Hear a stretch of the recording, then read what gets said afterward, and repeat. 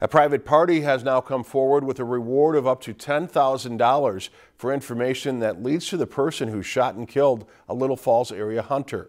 Investigators believe 41 year old Terrence Brisk was shot on Monday, November 7th between 2.15 and 4.30 p.m. on a wooded property northwest of the intersection of Hawthorne Road and Jewel Road in Belle Prairie Township, east of Little Falls.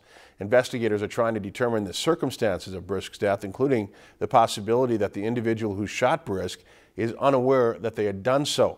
The Ramsey County Medical Examiner's Office on Wednesday determined that Brisk died of blood loss due to a gunshot wound.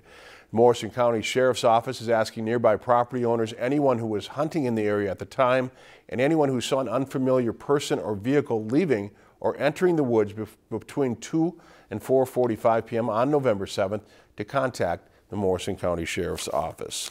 If you've enjoyed this segment of Lakeland News, please consider making a tax-deductible contribution to Lakeland Public Television.